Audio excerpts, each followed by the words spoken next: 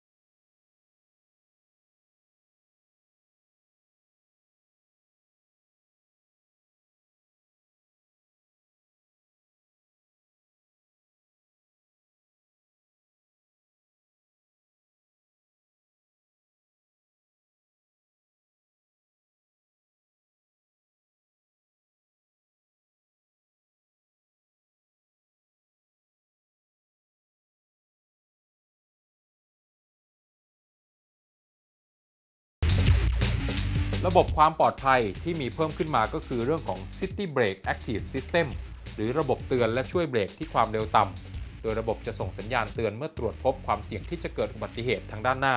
และหากคนขับยังไม่ทำการเหยียบเบรก ระบบจะทำการเบรกรถอัตโนมัติทันที เพื่อยับยั้งอุบัติเหตุที่จะเกิดขึ้นที่ความเร็วไม่เกิน 35 กิโลเมตรต่อชั่วโมง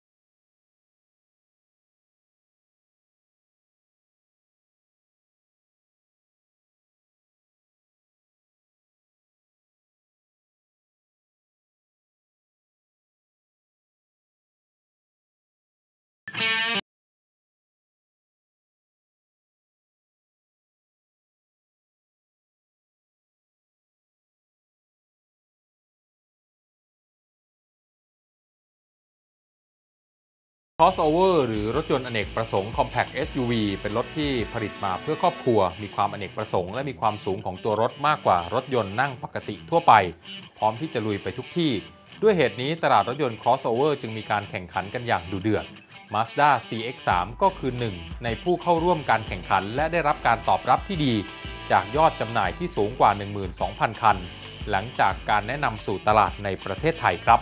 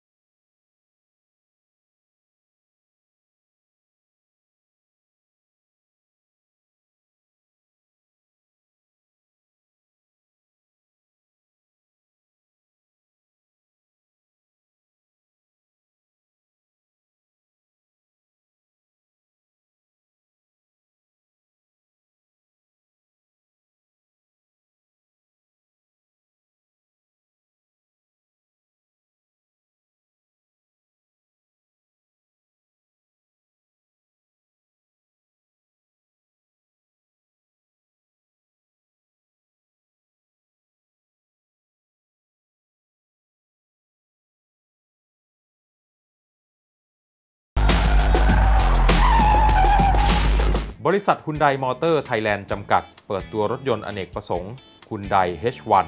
และ Grand Starex โฉมใหม่ ซึ่งยังคง concept ความทันสมัยและเหนือระดับเหมือนเช่นเคย โดยทั้ง 2 รุ่นที่ถูกเปิดตัวนั้น ถูกออกแบบให้มีความทันสมัยและ modern มากยิ่งขึ้น กระจังหน้าโครเมียมใหม่ แบบแนวนอนช่วยให้ดูแข็งแกร่งและทรงพลัง โคมไฟหน้าพร้อมไฟหน้าแบบ projector lens และไฟตัดหมอกดีไซน์ใหม่ อีกทั้งยังมีฝากระโปรงหน้าและกันชน ที่ปรับรูปใหม่ให้ช่วยดูโดดเด่นมากยิ่งขึ้น นอกจากนี้ยังได้เพิ่มความเป็นเอกลักษณ์ให้กับตัวเองมากยิ่งขึ้น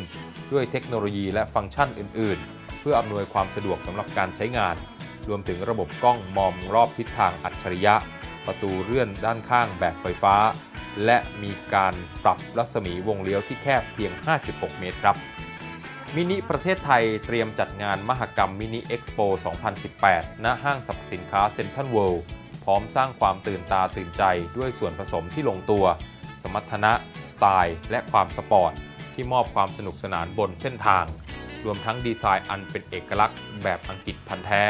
ด้วยการเปิดตัวรถยนต์มินิ Cooper S Countryman รุ่นล่าสุด ซึ่งได้ปรับราคาใหม่ลงสูงถึง